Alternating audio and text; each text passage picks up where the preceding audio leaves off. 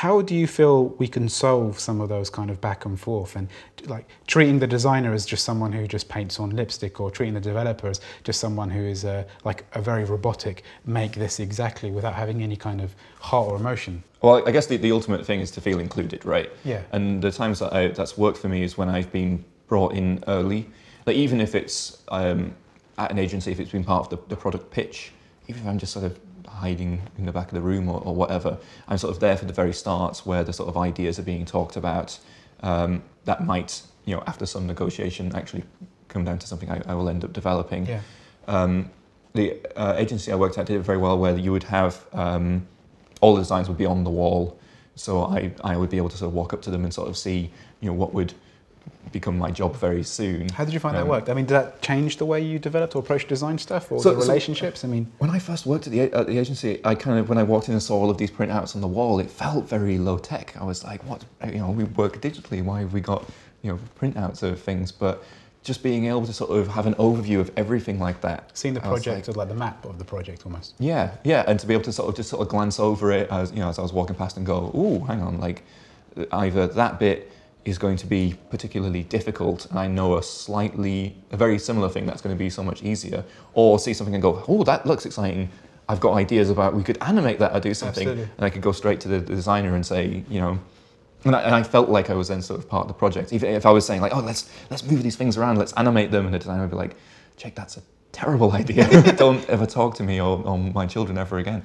But they, but then sometimes it'd be like, oh yeah, there's, there's, there's a hint of a good idea in there. Let me work on that we advocate like a process called design sprints, which is all about getting everybody working together. So you come up with an idea, or sort of like everyone shares like the challenges, and you come up with ideas together. It's like developers, but engineers. Is, is that designers working together, like, no. or is that the, the, the product working together? Is everybody involved in in in the product itself. So um, typically you have a stakeholder from finance, from marketing, from developer, from design, from research, everyone and the, the big boss.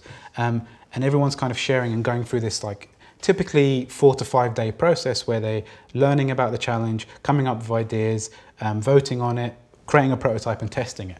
Um, And we find that this kind of doing things um, collaboratively and also part of the process, you're in a room where you're writing everything on the wall, you lots of sticky note paper, um, allows everyone to empathize each other's position and also respect the authority of the knowledge that everyone else has in the room. Otherwise, what happens is you just have this conveyor belt that marketing will come in and say, no, you don't know what you, you're just a, a painter, you're just a, you know, uh, whatever, a builder. Just do these things that I, where they may not necessarily have the expertise to kind of know like how UX or behavior or performance or accessibility works. Well, I, I think in the same way that um, that we're talking about, there's, there's a benefit to a, a designer knowing, you know, some of the development tools, and, and I, I, think this, it cuts both ways. I think a developer should know their way around like Photoshop, Sketch, or you know, especially whichever tool that the designer uses.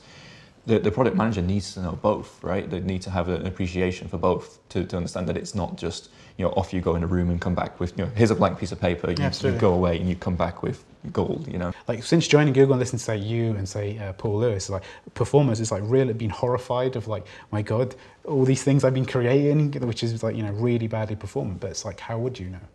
Or how would I know rather? Well, it's, I guess it's it's more down to the developer, isn't it? In that case, I think too. I because it's not like things don't get slower the more colors you use, or, or necessarily like, the more complex the shapes are. It, it, I think it is down to the, the developer to sort of uh, identify maybe that for some reason there's some uh, parts of this design altogether is resulting in something slow. It's like if we remove that bit there, we are 90, you know, we're, we're like twice as fast or something. Can, Absolutely. Can we, can we do that? And then it's a negotiation from, from that point. So I suppose how we can solve this appreciation or sort of lack of appreciation um, is working closely together. I guess ultimately is what we're saying, which yeah. sounds like very obvious, but we need to talk more.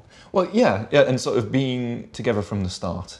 Um, so then, you know, the, the I with seeing a design, I can see how uh, the designer got there. I, I, saw that sort of process, and I was able to catch things, uh, you know, early on. Because uh, I, I, know that the sort of ideal is for everything to be sort of iterative development, but in so many, like especially agency life, I'm busy working on the other projects yeah. that's, that's finishing while the designer's working. But still having one. some sort of input or conversation beforehand. Yeah. So by the time I actually come to work on it, it's like, well, I, I, you feel I've, I've seen it, yeah, yeah, and I've I've seen that develop, and I've influenced that bit, and I'm kind of comfortable with it. Well, maybe it's kind of a spectrum, you know, like on one side you have no processes and no data to validate your ideas, and on the other side you have too much of it, and maybe now the whole UX world is steering slightly more towards this too much.